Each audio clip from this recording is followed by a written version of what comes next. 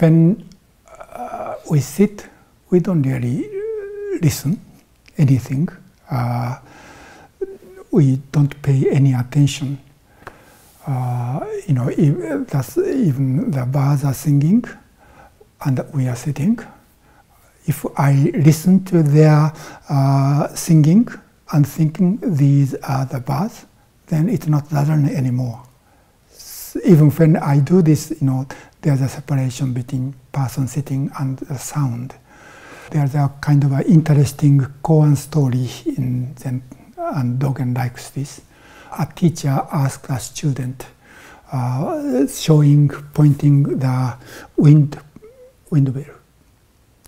And he, the teacher asked, is the wind make sound or does the bell make sound?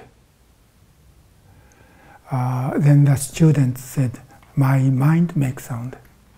Neither wind nor bell, but my mind makes uh, a sound.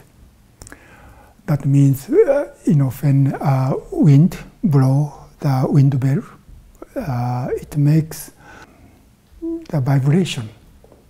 And the, that vibration uh, of the air reach to my ear, then it becomes sound.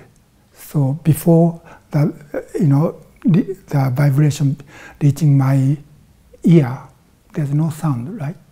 Sound, so sound is only inside of our mind. Our mind.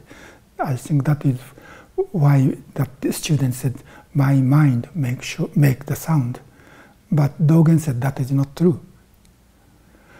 Uh, because you know, even if my mind is working, if the, uh, the wind doesn't blow and the ring uh, wind bell doesn't you know sh shake and the air doesn't vibrate, then there's no sound.